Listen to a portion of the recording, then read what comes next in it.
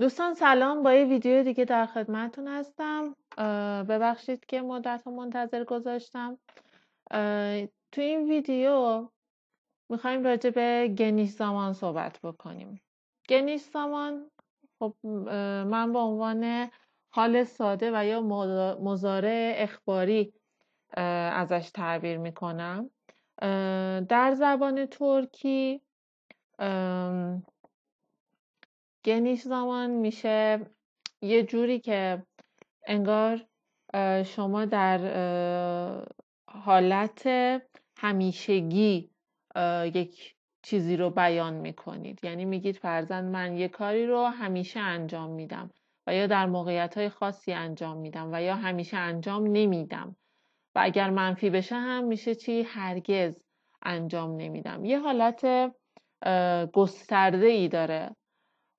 علاوه بر اون یه حالت دیگه هم داره که بیشتر با اون منظور استفاده میشه که اونم در ادامه ویدیو بهتون میگم. اونجا هم تا اونجا همراهی بکنید.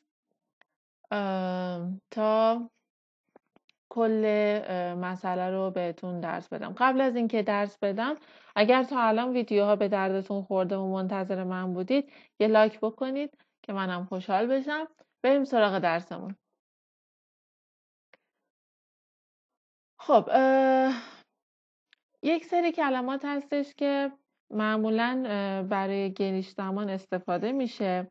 الزاما استفاده نمیشه ولی وقتی اینا هستن خب اینو نشون میده که حتما این جمله گنیش زمان هستش. زمانی که می‌خواید شما تست بزنید و یا سوالات امتحانی رو انجام بدید اینا جز اون مواردی هستن که درش دیده میشه و تو جمله هاتون حتما فعلتون گنیش زمان خواهد بود اگر این کلمات باشه. از جمله اونها گنلیکله یعنی معمولا. گنلیکله هر زمان. هر زمان یعنی همیشه. بازن بازن یعنی بعضی وقتها دروما göre دروما göre یعنی بنابر موقعیت بستگی داره که چجوری باشه و انجام میشه. نادیرن نادیرن یعنی به ندرت خیلی نادر. ne zaman istersem ne یعنی هر وقت که بخوام. asla asla یعنی هیچ وقت. hiçbir zaman hiçbir zaman اونم یعنی هیچ وقت هرگز. خب. بریم سراغ قوانین فعلمون.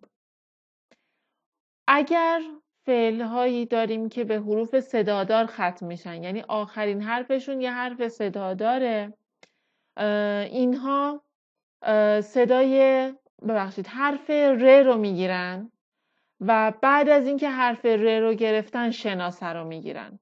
یعنی اول فعلمون برای اینکه واسه زمان گنیش استفاده بشه این پسوند رو می‌گیره بعد شناسه رو می‌گیره. خب فعلایی که به حرف صدادار ختم میشه من چهار تا اینجا آوردم. مثل یاشا از یاشاماک میاد به معنی زندگی کردن. یاشار یعنی زندگی می‌کند. همیشه زندگی می‌کند. اویو یعنی بخواب به معنای خوابیدن هستش. اویور یعنی همیشه میخوابد. بیور یعنی بزرگ می‌شود. از فعل بزرگ شدن هستش. بیومک. سویلر یعنی می‌گوید. از فعل سویلمک گرفته شده. خب همونطور که می‌بینید اگه فعل امرمون به حرف صدادار ختم بشه یه دونه حرف ر می‌گیره اینجا بعد شناسه فعل رو می‌گیره. فعل هایی که دو هجایی هستند و یا چند هجایی هستند اینها از قواعد آوایی زبان ترکی تبعیت می‌کنن.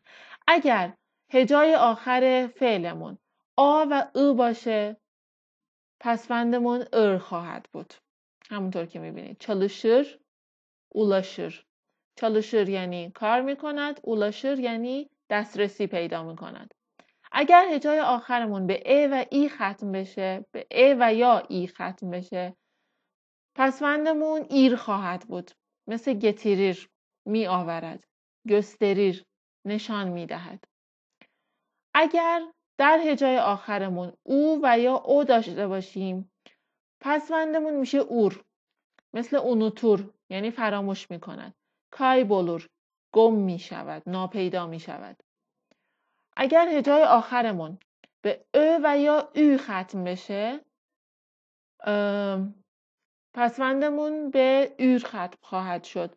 مثل گتورور یعنی بر می دارد مثال دیگه نتونستم بزنم. یه دونه مثال آوردم اینجا. بریم سراغ موارد بعدی که استثناء هستن. فعلهایی که تک هجایی هستن یا پسوند آر می‌گیرن یا پسوند ار می‌گیرن.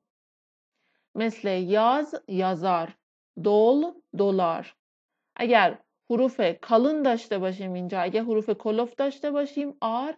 اگر حروف اینجه و یا نازک داشته باشیم پسوند ار می‌گیره. سیلر بوکر. خب یازار یعنی چی؟ یعنی می نویسد سیلر یعنی پاک می کند دلار یعنی پر می شود بوکر یعنی مچاله می کند خم می کند مچاله می کند خب یه سری از فعلامون که استثناء هستن این سه تا فعله که به حرف ت ختم میشن. اینا وقتی بهشون پسوند اضافه میشه ت آخرشون تبدیل به د میشه. گیت به اضافه ار میشه گیدر. همونطور که می‌بینید تک جاییه پسوند ار اومده به خاطر صدای ای ولی خب ت به د تبدیل میشه میشه گیدر. بعد پسوند شناسه میاد. ات از فعل اتمک میاد. یه ویدیو راجع به این داشتم می‌تونید برید ببینید. تک جایی هستش به خاطر صدای ا ار گرفته. اینم میشه ادر. مثلا تشکر ادریم. این ادر از همین اینجا میاد. تات یعنی مزه کردن چشیدن. طعم یه چیزی رو چشیدن. به خاطر صدای کلوفت پسوند آر اومده. ت هم تبدیل به د میشه میشه تادار یعنی میچشد. مزه مزه می‌کند. خب بقیه فعلایی که استثناء هستن یه عدهشون رو اینجا آوردم. یعنی بیشترشون همینا بودن. اینها بیشترین استفاده رو دارن. یعنی شما بقیهشون رو شاید به مورد زمان یاد بگیرید ولی اینا حالتهای خاصی هستن که زیاد با اینها سر کار خواهید داشت. فعل آلماک گرفتن میشه آلر یعنی هیچ قاعده ای نداره که اینا چرا این پسوند رو گرفتن. اینجوری گفته شده دیگه اینجوری شده. البته توی زبانهای ترکیه دیگه مثل ترکیه آذری و قفقازی و اینجور چیزا ممکنه فرق بکنه. مثلا توی لهجه آذری که من خودم native ش هستم ما نمیگیم alır ما میگیم alar. یعنی از قواعد واجی استفاده می‌کنیم. توی زبان ترکیه استانبولی اینها یه مقدار به نبگویششون متفاوت هستش. خب almak میشه alır یعنی می‌گیرد. durmak یعنی ایستادن و یا متوقف کردن. متوقف شدن ببخشید. متوقف شدن. میشه این اشتباه شد خب این درستش کنم هیچ اشکالی نداره درور خب durur, ölür yani mimiret, görür yani mibinet, olur yani mişavet, bilir yani می‌داند varır یعنی می‌رسد به مقصد می‌رسد. bulur یعنی پیدا می‌کند. verir یعنی می‌دهد. kalır یعنی میماند. این هم اشتباه شده. او. خب این هم استفاده کنم. یه مقدار با عجله. گفتم زودتر ویدیو رو درست کنم که اوکی ورور. می‌زند و یا شلیک می‌کند شلیک تفنگ اسلحه. سانر گمان می‌کند. خب حالا بریم. یک سری از فعلا رو گفتم به عنوان مثال صرف بکنم که بدونید چه جوری میشه. گیدریم gidersin gider gideriz gidersiniz giderler. یه فعل دیگه silerim silersin siler sileriz. Silersiniz siler و یا silerler اینجا که لر رو این شکلی آوردم می‌تونید لر رو استفاده بکنید می‌تونید استفاده نکنید و ترک ها هم بعضا استفاده می‌کنن بعضی وقتا هم استفاده نمی‌کنن خب این گیدریم یعنی می‌روم. می‌روی. می‌رود. ببخشید. آره. می‌رود می‌رویم می‌روید می‌روند. صرفشو خودتون متوجه میشید زمان حال ساده هست و یا اخباری. yazarım yazarsın yazar yazarız yazarsınız yazarlar همونطور که می‌بینید پسوندمون چهارگانه هستش.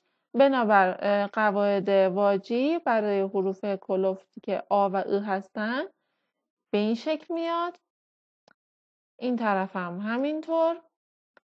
کویارم می‌گذارم. کویارسن کویار کویارز کویارسنز کویارلار. از فعل یازماک به معنای نوشتن اینم از فعل کویماک به معنای گذاشتن قرار دادن. می‌گذارم می‌گذاری می‌گذارد. می‌گذاریم می‌گذارید می‌گذارند اونوتورم از فعل اونوتماک فراموش کردن فراموش می‌کنم و ادامش اونوتورم اونوتورسون اونوتور اونوتوروز اونوتورسونوز اونوتورlar götürmek فعل برداشتن برداشتن بردن götürürüm. Götürürsün. Götürür götürürüz, götürürsünüz, götürürler. خب حالا بریم سراغ حالت سوالیش در حالت سوالیش پسوندهامون به این شکل خواهد بود. البته فاصله داره اینا. یعنی این جدا نوشته میشه. فعل آیا هستش که اینجا صرف کردم. وریر میم آیا می‌دهم؟ آیا به کسی چیزی خواهم داد؟ در واقع می‌دهم و یا کل عمرم یه همچین اتفاقی می شود چون گنش زمان هستش. Verir misin? Verir mi? Verir miyiz? Verir misiniz? Verirler mi? خب این برای فعلی بود که صدای ا و یا ای داشت آخرش که اینجا به ای ختم شده. پسوندمون از گروه مییم هستش. ای داره اینجا هم حرف کالون رو داریم. به صدای ا ختم شده. پس پسوند میم رو خواهیم داشت. alır mıyım alır mısın alır mı alır mıyız alır mısınız alırlar mı از فعل گرفتن. خب بریم سراغ مثال دیگه. اولور. پس من کلمه که به صدای او ختم میشه. اینجا در هجای آخرش صدای او داره. اولور مویم آیا می‌شوم؟ اولور موسون. اولور مو. اولور مویوز. اولور موسونوز. اولورlar mı و یا اولور مو.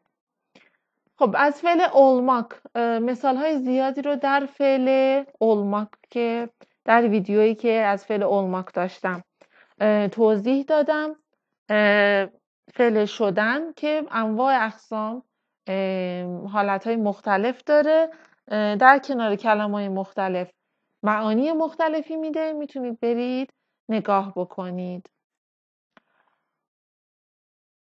خب فعلی که درش صدای ای داریم görür müyüm یعنی آیا می‌بینم görür müsün görür mü görür müyüz görür müsünüz görür mü و یا görürler mi اشتباه شد اینجا اینو درستش کنم görürler mi چون صدای نازک داره اینا رو دقت می‌کنیم. اوکی. فقط دوستان یه چیزی. این گنیش زمان درسته که حالت مزارع داره خب؟ یعنی موقعی که ترجمه می‌کنیم حالت مزارع داره. ولی گاهی اوقات برای آینده استفاده میشه. مثلا وقتی یه نفر میگه گرور میوم منظورش اینه که آیا خواهم دید. یعنی از الان برای همیشه خواهم دید. یه مقدار بنا به اون هنر ترجمه ای که مترجم درش استفاده می‌کنه و موقعیتی که فعل داره بعضی وقتا برای آینده هم ترجمه میشه. بریم سراغ قسمت بعدی. حالا می‌خوایم اینو منفی بکنیم. وقتی که گنیش زمان رو منفی می‌کنیم یک معنی تقریبا میشه گفت هرگز رو به فعلمون میدیم. خب مثلا اینجا میگیم گیتمم یعنی نمیرم. نه الان میرم نه بعدا میرم. یک حالت آینده هم داره هرگز. گیتمم صرفش میکنیم gitmezsin, gitmez, gitmeyiz, gitmezsiniz, gitmezler. Olmam, olmazsınız. Bebexşid, olmam, olmazsın, olmaz. Olmayız, olmazsınız, olmazlar. اینم فعل شدن هستش نخواهم شد نخواهی شد یعنی نمیشوم نمیشوی نمیشود نمی‌شویم. نمی‌شوید نمی‌شوند. باز از فعل olmak که ترکیبی هستش. موارد مختلفش رو می‌تونید از ویدیو اولماک ببینید. بریم دو تا مثال دیگه هم بزنم. خب همونطور که می‌بینید پسفندا عوض نمیشه. ببینید. پسفندا همون فعل عوض میشه. خب گülmem یعنی نمیخندم نخواهم خندید. Gülmem gülmezsin gülmez gülmeyiz Gülmezseniz gülmezler. Duymak. فعل duymak فعل شنیدن هستش. نمیشنوم یعنی هیچ موقع نمیشنوم. Duymam, duymazsın, duymaz, duymayız, duymazsınız, duymazlar. خب این هم در حالت هایی که صداهای مختلف داشت. اگر صدای نازک داشته باشیم تو فعلمون همونطور که دیدید در حالت قبلی هم اگه صدای نازک داشته باشیم مم مسنیز مز میز مسنیز مزلر. اگر حالت صدای کلوف رو داشته باشیم مام ماسن ماز مایز ماسنز مازلر. می‌تونید هر فعلی رو که بخواید اینجا بذارید و صرف بکنید. بارها و بارها می‌تونید صرف بکنید و یاد بگیرید. اینا رو یادداشت بکنید. دوستان من اول ویدیو یادم رفت بگم. ولی خب دانشجوی من همتون می‌دونید که چیه. یادداشت می‌کنیم اینا رو که بتونیم تمرین بکنیم. خب اینجا نمی‌تونم من 20 تا 30 تا فعل واسهتون تمرین بدم. ولی خب شما خودتون می‌تونید اینا رو یادداشت کنید و روش تمرین بکنید. حالا یک سری جملاتی بهتون میگم. دوستان اول اینایی که با قید هست رو بگم. خب همون قیدهایی که زمان که بهتون گفتم رو واسهش یکی یه دونه مثال زدم. genellikle geç kalır یعنی معمولا دیر میماند. معمولا دیر میاد. حالا آن کسی که راجع به صحبت می‌کنیم معمولا دیر میاد. genellikle geç kalır. her zaman saygı duyarım. همیشه احترام می‌ذارم. bazen olur öyle بعضی وقتا اونجوری öyle یعنی اونجوری. بعضی وقتا اونجوری میشه. duruma göre bakarız. بسته به موقعیتمون bakarız می‌بینیم حالا چی میشه. bakmak فعل نگاه کردن. اینجا حالا بنا به موقعیت تصمیم می‌گیریم. منظورش اینه. وقتی یه نفر بهتون میگه باکارز احتمالا داره معدبانه بهتون میگه که شاید نشه. این هم هست. این هم از لحاظ فرهنگی در نظر داشته باشید. نادیرن برای گلیر. به ندرت به اینجا میاد. هر زمان ببخشید نه زمان ایسترسم گلیرم. هر موقع بخوام میام. اصلا سومم اصلا خوشم نمیاد. هرگز خوشم نیومده خوشم نمیاد. هیچ بیر زمان ایستمم. هیچ موقع نمی‌خوام. خب بچه ها ببینید بچه ها میگم زبان آموزان عزیز. خب ببینید دوستان. بعضی وقتا گنیش زمان رو لحظه ای استفاده می‌کنن یعنی برای همیشه نیست. بعضی وقتا برای یعنی بعضی وقتا که من اکثرا دیدم برای وعده دادن استفاده می‌کنن. برای قول دادن استفاده می‌کنن. برای اینکه به شما بگن مثلا من این کارو می‌کنم و یا نمی‌کنم. ممکنه از الان صحبت کنه یعنی از زمان حال صحبت کنه. ممکنه یه چیزی بگه برای همیشه ممکنم هست لحظه قول بده که یه چیزی انجام میشه و یا نمیشه. یعنی برای قول دادن و وعده دادن هم استفاده میشه. و یا در یه لحظه خاصی واسه همون لحظه داره استفاده می‌کنه این فعل رو. مثال می‌زنم. تشکر ederim اینو همتون بلدید. تشکر ادریم خب این یعنی همیشه که تشکر نمی کنم در این لحظه دارم تشکر می کنم اینجا ببینید فعلمون گنیش زمان هستش.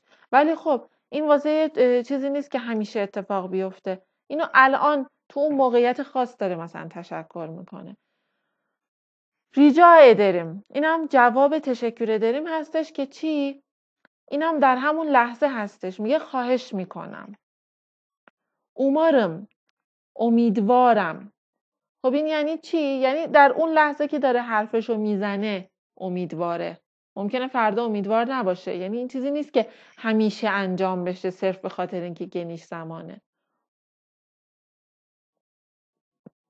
تأسف درم تأسف اتمک یعنی تأسف می‌خورم. متاسفم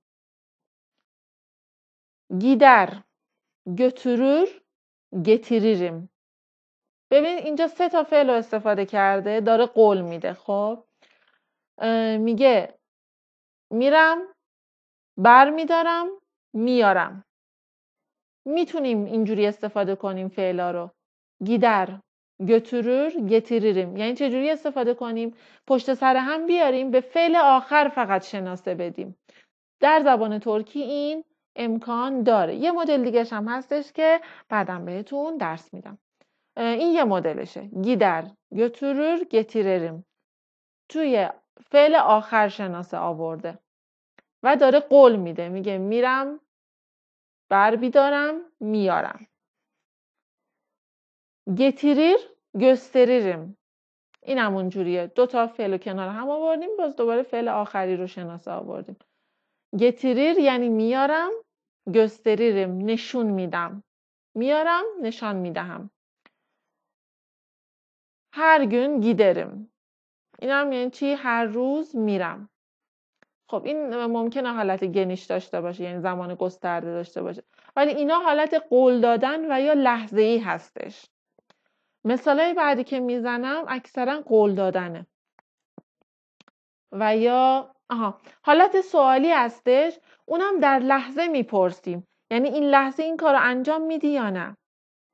مثلا خیلی استفاده میشه. alır mısın و یا alır mısınız اینو بیشتر کجا استفاده می‌کنن؟ مثلا وقتی می‌خوان به یه نفر یه پولی بدن و یا می‌خوان به یه نفر یه چیزی تعارف بکنن. میگن بر میداری؟ یعنی اینو بی زحمت می‌گیری؟ alır mısın و یا برای خریدن استفاده میشه. مثلا اینو برام می‌خری؟ alır mısın اینو مثلا استفاده میشه که این یه حالت لحظه ای هستش حالت همیشگی نیست. Bana doğruyu söyler misin? راستشو به من میگی؟ doğru یعنی درست حرف راست. söyler misin یعنی آیا میگی؟ آیا می‌گویی؟